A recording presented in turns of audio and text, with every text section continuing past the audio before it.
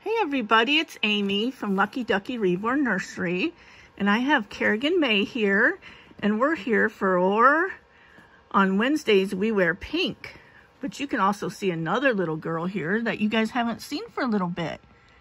She came to our house and then I got sick and so we didn't do Cheeky Monkey Monday. It's been quite a journey, a couple weeks of being pretty sick. So, um, and I think it's all related to an injection I got. I'm sometimes very sensitive to medication, so it was a steroid and didn't work good with me. We're on the upward bound now. But anyway, I wanted to show you Kerrigan.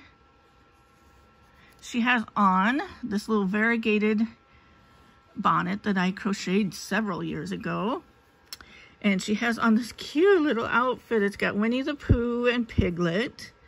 And it's got the cute little pants. And there's little ruffles on the bottom. And she's got her fuzzy warm socks on. And I just loved it because I had Pooh and Piglet on it. And her little passy that she loves has Piglet on it. But also, my daughter gave me this little elephant for Valentine's Day. Along with a little outfit I'll have to show you later on a baby. It was very nice of her. she knows I love my babies. But we want to introduce this little girl. Yeah, you're going to tell him your name? Oh, is that how you say it monkey? Yeah, ask the aunties if they like your big hair bow.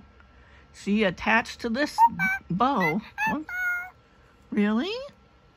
What else do you got to say? Huh? she, yeah. You, oh, you're sending kisses? She loves to be all pretty, but her name is going to be Susie. So, yeah. And she's quite the cheeky monkey. So we're going to have to come to you on Mondays with this little girl. Oh, now she's going to fall asleep. Maybe this is a good time to let you go. Because this other little girl is taking a rest too. So it's about that time. So I hope you enjoyed our little short video here. And I hope to be feeling better and doing more videos. So thanks for watching. Bye for now.